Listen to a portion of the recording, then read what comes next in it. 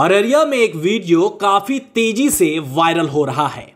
दरअसल, ये वीडियो एक पुलिस कर्मी के द्वारा अपराधी को बंदूक की नोक पर खुलेआम सड़कों पर पीटता हुआ वीडियो है। और इस वीडियो में आप साफ़ तौर पर देख सकते हैं कि किस तरह से पुलिसकर्मी एक अपराधी को पीट रही है।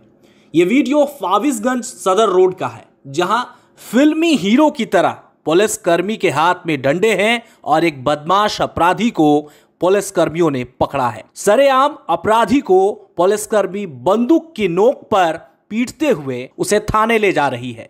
आप वीडियो में देख सकते हैं कैसे पुलिसकर्मी एक अपराधी को पकड़कर भीड़ भाड़ वाले सदर रोड में सरेआम उसकी पिटाई कर रहे हैं। वहाँ लोग भी मौजूद हैं और लोग उस पूरी घटना का वीडियो बना रहे हैं।